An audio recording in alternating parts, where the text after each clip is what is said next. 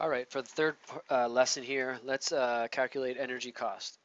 so, how much would all of these electricity use cost, assuming you have 15 cents a kilowatt hour?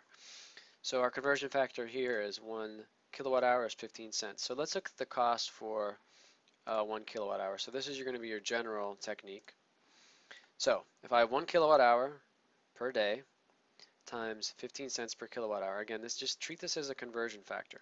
So it's 15 cents per kilowatt hour. So kilowatt hour, we'll cancel out with kilowatt hour, and then we're left with dollars per day.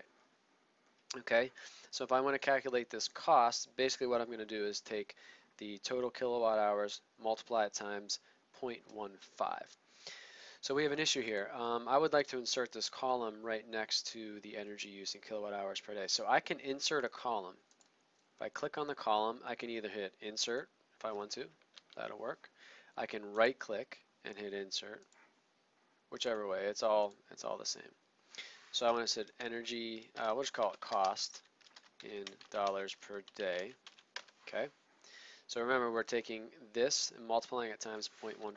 So go in the cell, type equals, click on the cell, asterisk, and then 0.15. Click enter. And why does it do that? Hmm.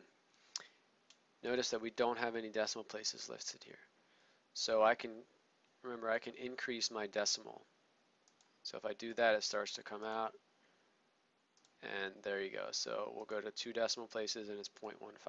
Now the other thing here is this is in dollars. Now it says dollars in the column heading, so that's okay. If you want to put a dollar sign here, you can actually just click the dollar sign and it's going to pop it there for you.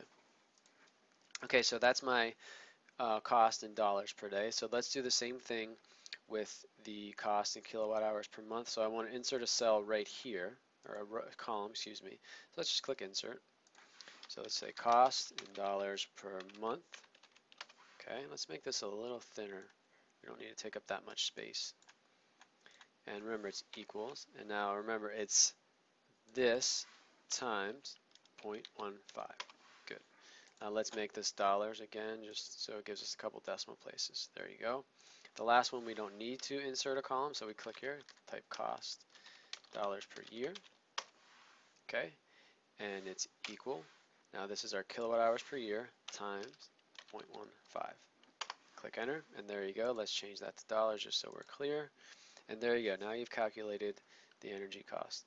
So in the next video, I will go over how to use a static reference to make this even easier.